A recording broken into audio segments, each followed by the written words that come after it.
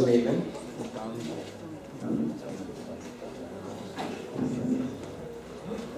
Liebe Kolleginnen und Kollegen, meine sehr verehrten Damen und Herren, ich darf Sie sehr herzlich begrüßen hier in den Räumlichkeiten des Österreichischen Staatsarchivs zum zweiten Teil der Abschlusskonferenz unseres gemeinsamen Projekts Cross-Border Archives, Gedächtnis ohne Grenzen. Ich begrüße ganz besonders wie immer unsere lieben Freunde aus Bratislava, aber auch, aber auch unsere Archiv- und Projektpartner aus Österreich.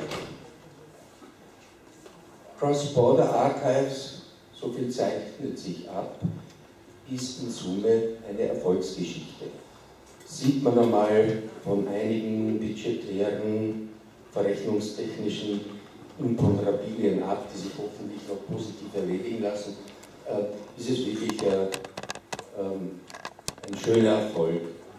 Ähm, natürlich die Digitalisierungsarbeiten, die Durchführung der Digitalisierungsprogramme, äh, wie wir gestern schon ausführlich, nicht wir, wie ihr gestern ausführlich gehört habt in, in, in Bratislava, aber äh, aus meiner Sicht ist das äh, bleibende, nachhaltige, das äh, Wissensnetzwerk, zugleich ein soziales Netzwerk, das äh, im Laufe der letzten Jahre seit Februar 19, äh, 2012 bis, bis zum heutigen Zeitpunkt entstanden ist.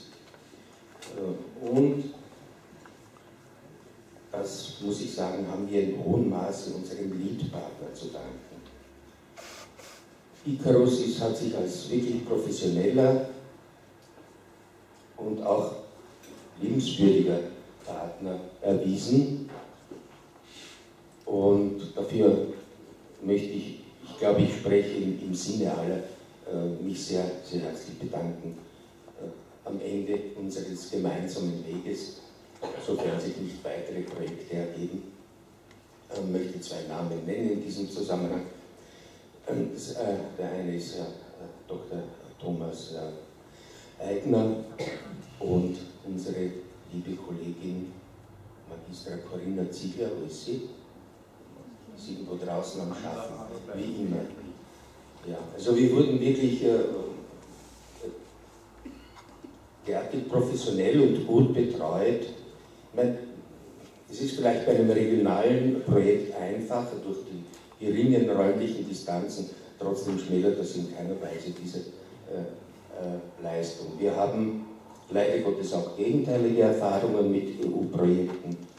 Wir haben einen Lead-Partner, der uns nicht serviciert, sondern nur umgekehrt, den wir mit Informationen versorgen oder den, wir servicieren müssen.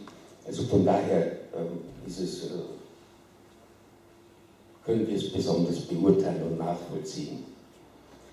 Ähm, wir haben gestern, oder ihr habt gestern schon einige Beiträge resonierender Natur gehört, besonders äh, eben von Frau Magistra Ziegler und von unserer Staatsarchivarin Renate Domnanich, die das, was ich hier zum Ausdruck gebracht habe, äh, äh, in, äh, in ausführlicher, detaillierter Weise getan haben. Ähm, heute liegt der Schwerpunkt, wie Sie dem Programm entnehmen können, den genealogischen Vereinigungen, den Aktivitäten der genealogischen Gesellschaften. Wir haben, Sie haben gestern schon eine Einführung bekommen in die Aktivitäten von Family Search, die genealogische Gesellschaft Utah, ein langjähriger, zuverlässiger, seriöser Partner des österreichischen Staatsarchivs und auch des Wiener Stadt- Landesarchivs, wie wir wissen. Wir setzen heute fort mit, äh, dem, mit der altehrwürdigen heraldisch-genealogischen Gesellschaft Adler, mit dem slowakischen Pendant, der slowakischen genealogisch-heraldischen Gesellschaft, mit der Plattform Entin und mit der Gesellschaft Familie Austria und worauf ich schon ganz besonders gespannt bin, der Geschichtsverein Wullersdorf. Ja, bin ich dann besonders neugierig. Ähm, andererseits äh, hören wir, wie Sie wissen, äh, nochmal Beiträge äh, bedeutender slowakischer und österreichischer Archive. Ähm, Diözesanarchiv Wien, natürlich das Niederösterreichische Landesarchiv, das gleich mit zwei Beiträgen ver vertreten ist. Dann, äh, was haben wir denn noch an, an, an, Ja, das Wiener Stadt- und Landesarchiv, das mit ihrer Direktorin vertreten ist, Frau, äh, Frau Dr. Riegele, schon zugegen. Nein. Gut. Und äh, was mich besonders freut, denn der Beitrag des äh, BÖF, des, des äh, österreichischen des äh, Archivs des österreichischen Widerstandes.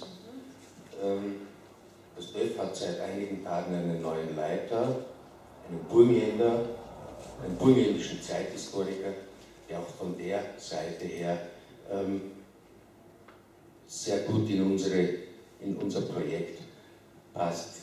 Es wird geschmunzelt wegen des Burgenländers. Gell? Aber er passt in unsere, in unsere Grenzregion, die ja Gegenstand unseres Projekts ist. Das wollte ich damit gesagt haben.